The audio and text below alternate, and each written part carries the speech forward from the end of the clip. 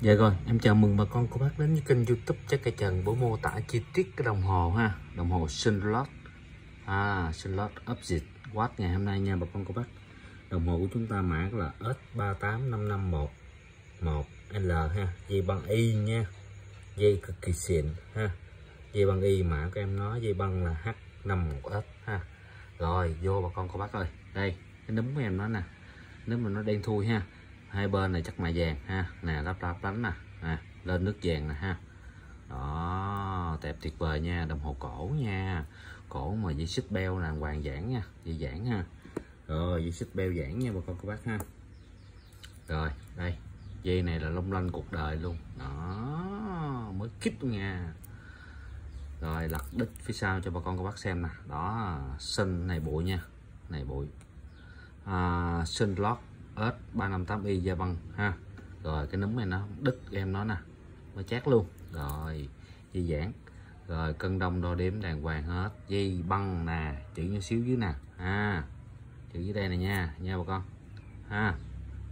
Mã của em nó. Rồi, ok, con gà đen luôn. Quá tuyệt vời luôn rồi bà con ơi. Quá tuyệt vời luôn. Cái này, cái dây của nó rất là đẹp nha. Rất là đẹp là lạ, ha. Nó dây của nó là dạng như là cái hộp lúa mà không hộp lúa mà lấp la lấp lánh ngộ lắm. Nào giờ em cũng mới thấy. Nè lên nước nè lên nước vàng nè bà con thấy không? Lên nước vàng nè. Nè thấy không? Khả năng mạ vàng cực kỳ cao nha ha. Lên nước vàng. Rồi đồng hồ chúng ta là kiểu tăng. Rồi đo xe cái nhà bà con cô bác ha. Đo xe cái. À, 18 nha ha. 17 18 ha.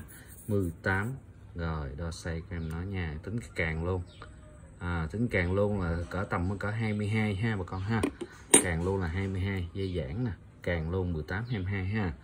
Quá đẹp quá xuất sắc. Đó nhìn nè. Rồi ôi quá đẹp luôn. Ha. Nè răng cưa cái mặt răng cưa này ha. Mặt răng cưa hộp răng cưa nó làm tuyệt vời luôn nha. Mặt số các em nó là số La Mã ha. Số La Mã. Số La Mã tuyệt vời. Ừ kim cọt của em nó là kim phúc kim dây kim giờ màu đen còn kim gió của nó kim dây của nó là màu vàng ha. Mặt cổ điển quá đẹp. Rồi em báo giá luôn ha. Một triệu chín bao ship toàn quốc. Bà con có thể mua lít vô gian hàng Shopee chắc cái trận em hoặc ép số Zalo em mua ha.